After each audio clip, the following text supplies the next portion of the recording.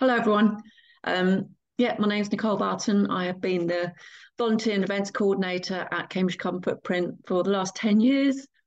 Um, but I think in a way, more importantly than that is, well, for me, is that I'm I volunteer. Um, it just keeps helps me keep grounded, I think, when I sort of talk about the theory of volunteering and engaging.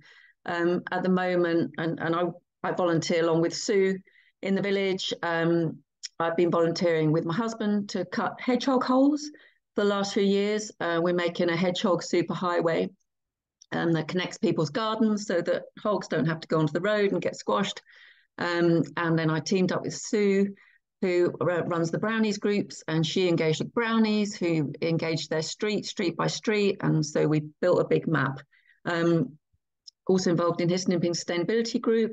Um, but like many other places over COVID, a lot of energy was lost. Obviously, people, you know, didn't go along to meetings for a couple of years. So, like many, we're in the stages of just trying to build that energy up again. Um, yeah. So I have been, I'm a member of the Institute for Advanced Volunteer Managers. I worked at Friends the Earth head office for eight years, um, translating their sort of national campaigns down to a local level. Um, and I worked for CS Community Service Volunteers Consulting that was about um, getting people to volunteer in so-called hard to reach communities. Uh, so next slide, please. So um, yeah, I think there's there's one thing, there's something that's sort of kept me motivated and excited about working volunteers. I absolutely love working volunteers. I get to work with incredible people. I work with British Antarctic Survey scientists, community artists, people that have like retrofitted their homes, just regular people who want to do something. Helps keep me really positive working with other people who want to do good things because it's just really it gives you energy to be with other people that want to do stuff, even if everything seems a bit bleak. Um, this is Time Out. I don't know if any of you remember Time Out. is a listings magazine in London, and um, they had Guy Ritchie was the guest editor, and um, I got picked to be in the the magazine as as Revenge of the Outsider. Um, guest editor Guy Ritchie heads up a celebration of London's rebels. I don't really think of myself particularly as a rebel, but um, I said then, and I still think this now, that volunteering and engaging people in volunteering is about helping ordinary people to do extraordinary things. Um, so if I think about my own life, so the most extraordinary things I've done have been as a volunteer. I have an aviary in my garden. I rescue woodpeckers and red-legged partridges, and it, yeah, it's just something I would never do normally. Uh, my husband uh, takes a, a rickshaw out with people from an older people's home every Friday afternoon, and he dresses up as Father Christmas. So it just gets to like do extraordinary things. So um, I think it's about making people see that they can do extraordinary things um, outside of their working lives and stuff. Next one. Uh, so this is another person who's really inspired me over the years. Um, so when I worked for Community Service Volunteers, um, she ran the organization and she was very, very fiery and very passionate. And um, she just said that um, societal change can be brought about by bridging the gap between the huge needs that exist in society and people's need to feel valued, useful, and empowered to have an impact on the things that they care about. So there's so many needs in society and lots of people with time and energy, and the volunteering is about bringing those two things together. So I'm just saying this because it's just framing why I still feel passionate about it. Um, and she said that most, she thought most things could be achieved, you know, if you just put your mind to it and stuff. And she said, let those who say it can't be done, let those of us who are doing it get on with it. Um, and she was very forthright, and I can't. Not everyone liked her. She was very, and and but the, one of the most important things she said was, "It's all about people, Nicole." And I still think that you know, it, volunteering is all about people, and I think it's about listening to their motivation, interest, the relationships that you have with them and helping them feel like they're making a difference and enjoying themselves. I think quite often we get caught up in, oh, I've got this mission. You know, I need to make a hedgehog superhighway in Histon Impington.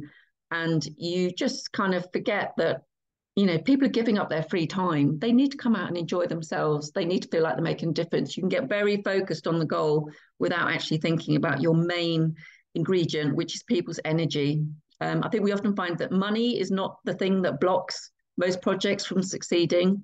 It's energy and it's the energy that people bring with them. So focusing on the people side of your volunteers is really, really important. Next one. Okay, so who are all these people? So people often say there's a real shortage of volunteers. I, you know, I can't get anyone to get involved and stuff.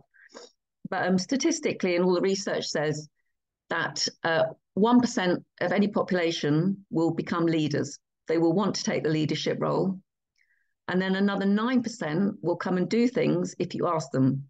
You know, so we ran a swish at the weekend here in Histon. Um, we had 40 volunteers and you know that so they're people that will come for one-offs when asked. If you're really clear about what the ask is you know you have the ambition and then we had a, a zoom meeting for volunteers in advance. They got to meet each other so they knew each other when they got into the room. And then you know the roles for the day were clearly laid out. So that might have been the 9% that came along and helped on the day.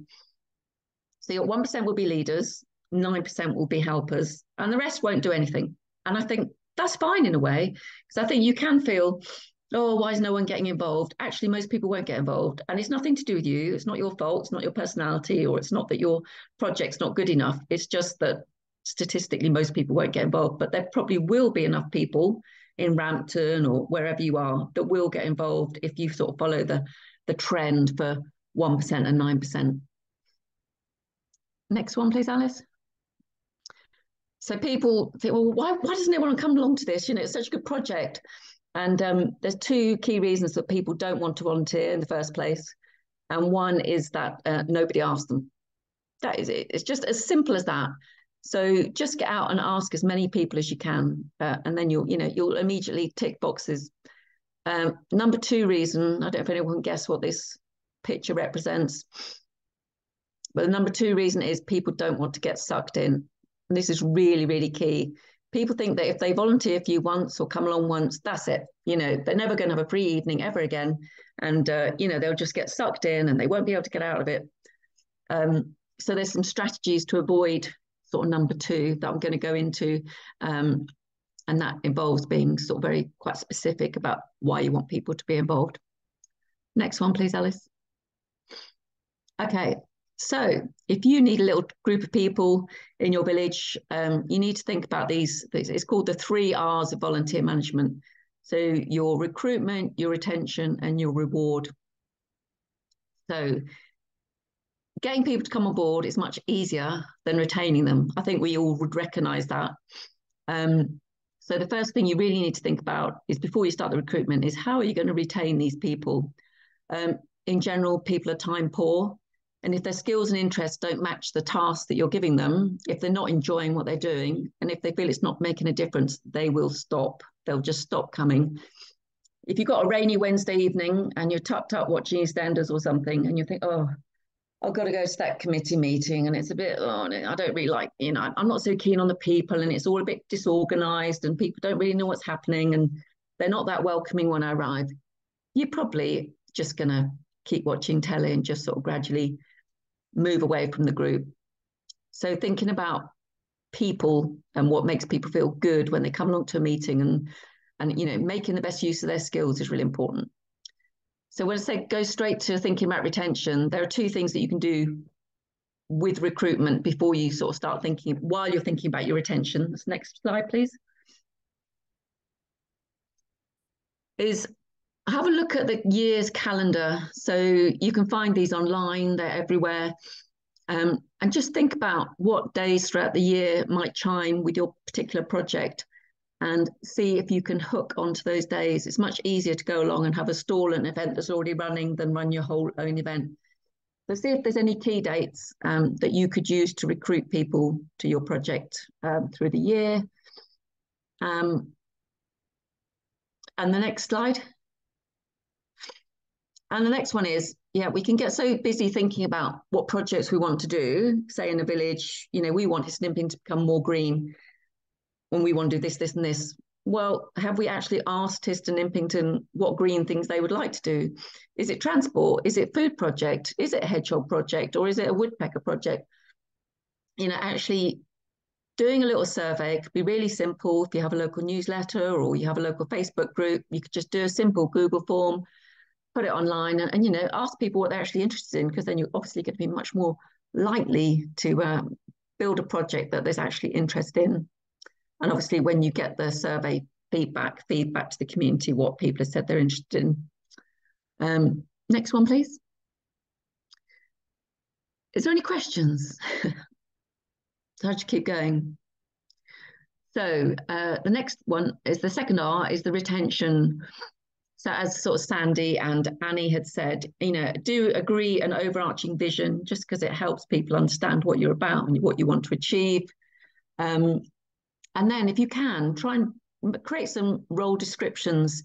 And that's just a really good way of helping people see how they're going to fit into your group and what you want to achieve. People don't like to come along to something they're not, not sure their skills fit, or how long will I need to be engaged, or how, is it one hour a week, or is it 20 hours a week? So if you create a role description, as many as you can, then that will really help people see how they can fit into your group. Um, so a basic, some role descriptions that you might have um, if you're trying to build up a group in your village or town would be a communications person. So yeah, I mean, you can just read the slide yourself. An admin person, really important to keep track of all the sign-ups that you get. Um, yeah, keep and basic records of minutes, handle any donations um, and reporting. Your event organizers, and then you can have a broader, your sort of as and when team. There's people who don't want a particular role, but you know they will come and do the nine percent type activities that we talked about earlier. Your, your as and when as people that might stand out and shaking a tin occasionally, or they might bake for you, or give someone a lift, um, or they might be public speakers. Um, and then I think probably the roles for later would be, you know, your treasurer, your fundraiser, your chair, depending on whether you you want to be a constituted group or not. Next one. So this is an example of a role description that we would have at Cambridge Carbon Footprint. It was to um,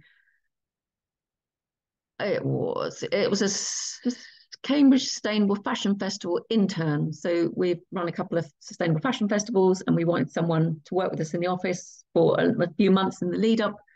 So yeah, it included you know your principal function, what do you want to do, uh, any expenses, where, what's the location, what are the days and hours, um, and how long is it going to last for?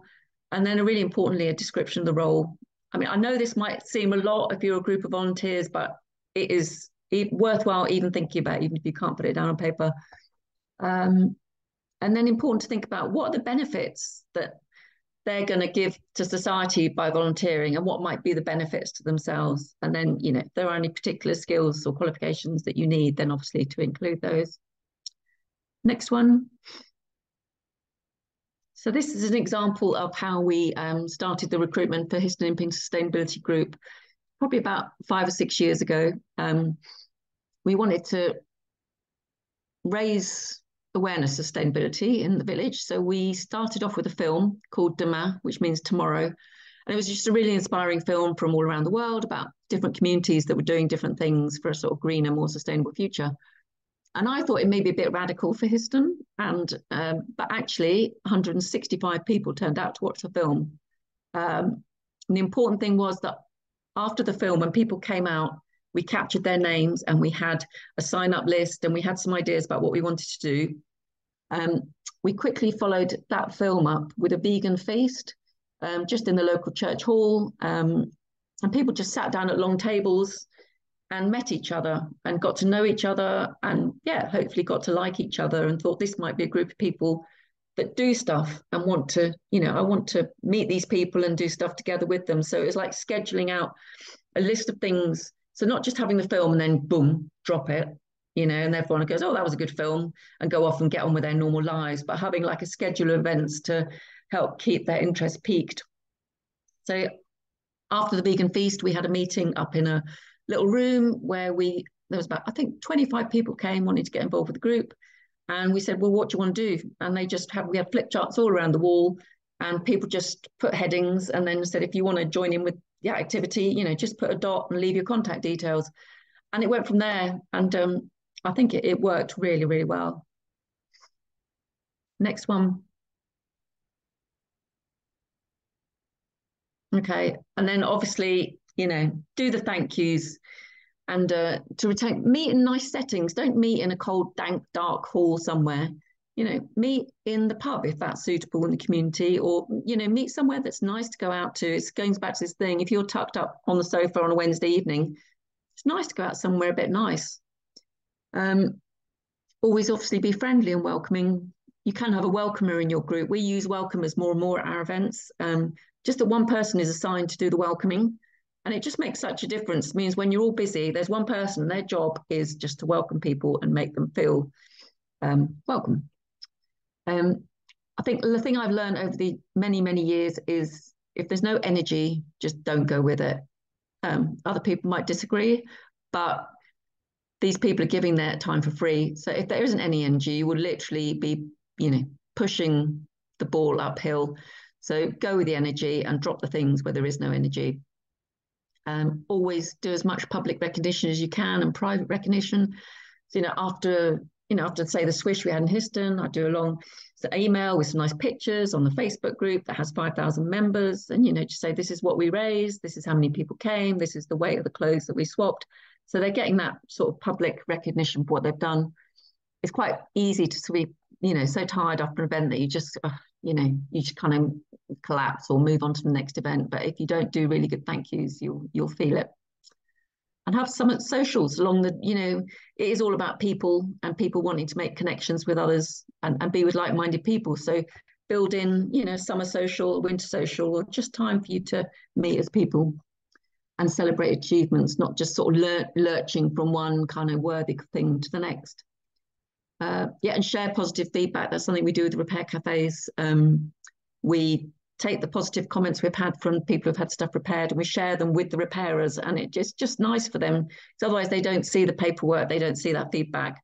Um, so we always share